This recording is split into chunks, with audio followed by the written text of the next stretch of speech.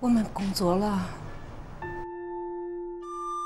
老弟，你看这是不是你爸爸的工厂？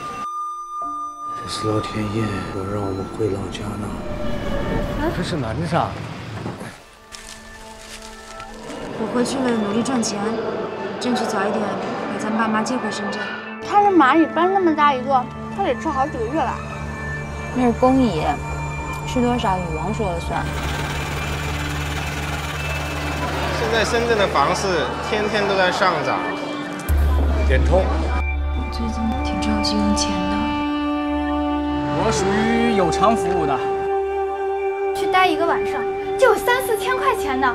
就签字、抽血、领药，然后给你钱回家。